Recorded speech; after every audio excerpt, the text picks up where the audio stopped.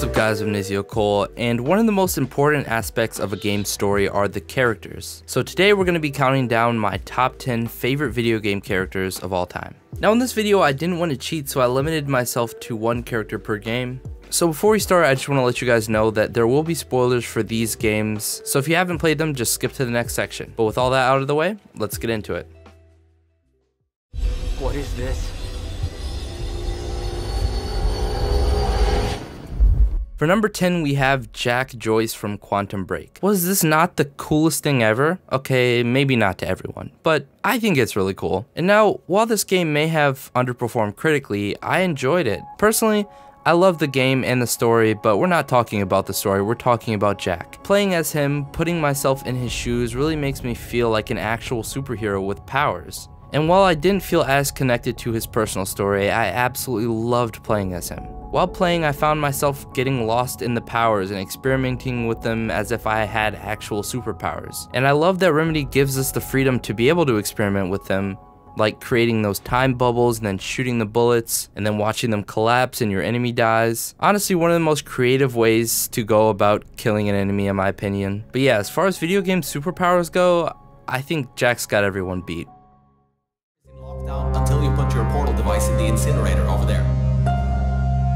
At number 9 we have Virgil from Portal Stories Mel. Honestly going into this game I didn't expect much, but after playing I can say that Virgil honestly fits right in with the Portal universe. If you don't know, Portal Stories Mel is a fan-made prequel to Portal 2 that although technically it's not canon, it's such a well-made game that I consider it to be. I mean, this is a fan-made game and Virgil feels like an actual character that could be in a first-party Portal game. I like how at the start he pretends to be Cave Johnson and follows you all throughout Aperture like Wheatley, but better and not evil. Honestly, one of the better sidekicks in video games, like the, the perpetual sidekicks that follow you around the entire game. I would say it definitely had a more satisfying conclusion than Portal 2, with a pretty heartwarming conversation with Virgil.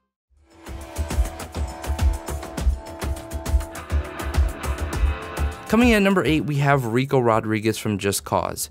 Rico Rodriguez is the definition of the word explosion. Just going from island to island, taking down one dictator after another. This guy is like the Tom Cruise of video games. I love the fact that everywhere he goes, there's some sort of explosion, and he somehow always walks away unharmed. I mean, this man literally flew through a tornado, but besides that, nothing much else to say. Great video game character as far as playing as him goes.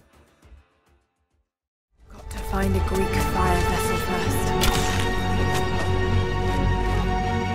At number 7 we have the one and only Lara Croft. The main reason I put her above Rico is the fact that it's a bit more realistic, and I think the story is a lot better in my opinion. A lot more backstory and lore in Tomb Raider versus the kind of wily coyote I just flew through an explosion on my Bavarium powered jet suit atmosphere of Just Cause. I mean, sorta. It's a lot more rugged and real feeling. Lara Croft is an absolute tank, and ha- absolutely has to be traumatized. Some people have their thing, but that's just not me.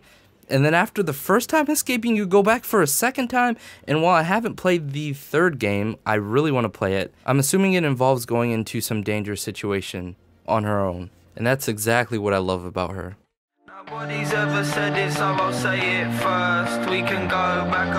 At number 6, we have Bagley from Watch Dogs Legion. And I talked about this in my review of the game, but I love his sarcastic nature. It really adds a lot of depth to his character, and the fact that he's an AI that's mass produced, that's reprogrammed by DedSec to help them destroy his creators is really cool in my opinion. That'd be like convincing Siri to make Apple go bankrupt. Makes a little less sense in our time, but Legion, honestly, I love that aspect of the story. Just the fact that he's an AI sidekick slash information giver is so much cooler than the standard guy in the chair.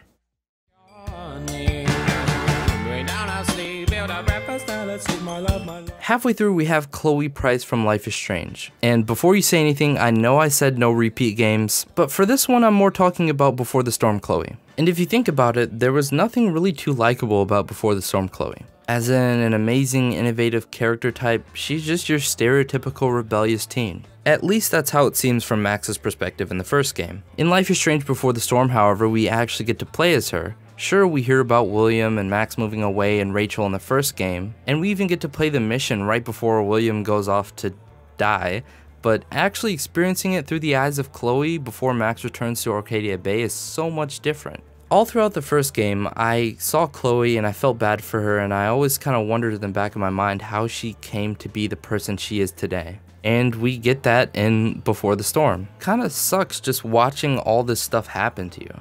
I enjoyed playing as her. I enjoy seeing how things play out from her perspective, how she deals with all the loss in her life, and that's why she's number 5 on this list.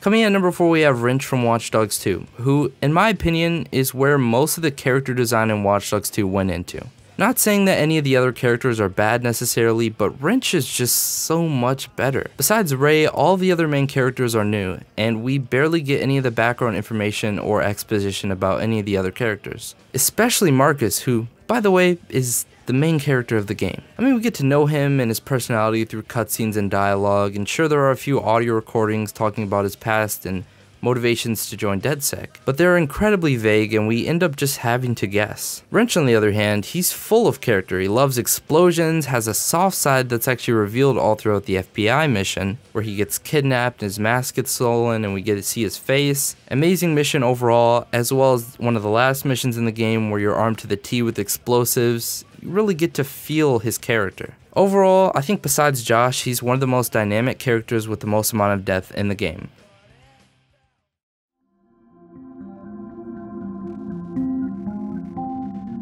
At number 3 we have GLaDOS, who's my favorite AI in all of gaming. You know how earlier in the list I said I love the sarcastic nature of Bagley? Well, GLaDOS is like the OG humorous AI. As far as I know, Portal was the earliest one to do it, just adding to the ominous nature that is Aperture Science, and even expanded upon greatly in the second game. I really love how deep into GLaDOS and by extension Caroline's character the second game dives into. The fact that you actually have to team up with her, forcing them to both learn more about Carolyn and Cave Johnson, as well as the history of Aperture Science is one of the most interesting and fun parts of this game. The whole the enemy of my enemy is my friend storyline is great in my opinion, and the fact that even after the seemingly shut and dry ending of Portal 2, we're still left open to so many theories because of Nature. Like, did she really let Chell go or did she put her back into a dream state? Did she just kill her and this is just all just fake?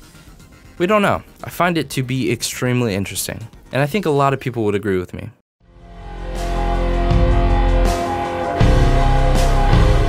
At number 2 we have Aiden Pearce from Watch Dogs. If you watched my channel before, you had to have known this was coming at some point. This is one of the main reasons I prefer the original Watch Dogs story to the second one.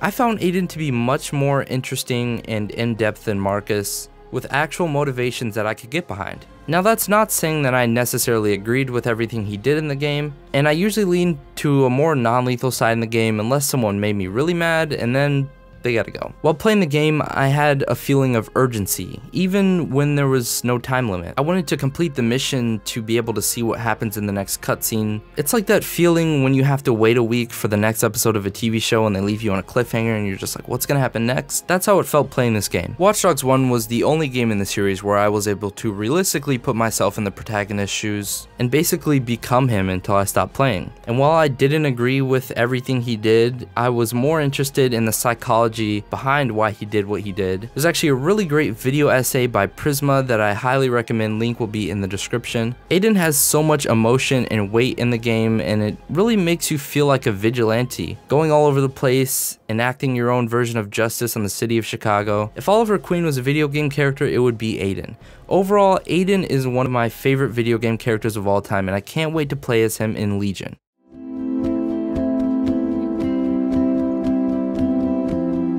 And at number one, we have Max Caulfield from Life is Strange. I talked about this a little bit in my video talking about why Life is Strange is my favorite narrative game. I resonate so well with Max just on a personal level. Even though the game gives you a range of options for you to choose the type of Max you want to play as, either more Chloe or more passive, it's still precise enough that we know what type of person Max is in general. And she just seems like a really cool person to be around, that you would actually want to be friends with in real life. I love playing through the game as Max as the person that everyone knows and has an opinion on, whether that be good or bad, I always get a calming feeling when playing this game. Even more than Aiden, considering Aiden kills people, but besides that, I can put myself in Max's shoes and really forget about reality and not be me. To be someone who moves to a small town in the Pacific Northwest, gets superpowers, reunites with her best friend, goes on adventures, solves mysteries. That's what I love about this game, and more specifically Max. It's so easy to lose yourself in this game, and isn't that the definition of a video game? In my playthrough, Max was one to de-escalate situations and err on the side of caution. Didn't get too aggressive except for when David started yelling at Chloe, and then obviously I'm gonna have to side with Chloe. And I know this is a video about characters, but you can't talk about the story without talking about the soundtrack, and it's amazing. It's less of a Life is Strange soundtrack and more of a Max soundtrack, considering this is the actual music that she listens to in game. I feel like it fits her personality so well and just adds to the calming nature and atmosphere of this game. And that is why Max is my number one favorite video game character of all time. So yeah, I hope you guys enjoyed this video. Let me know what your top 10 or even top 5 is down in the comment section below. Make sure to like the video and subscribe for more top 10s or just gaming content in general. And I'll see you guys later. Peace.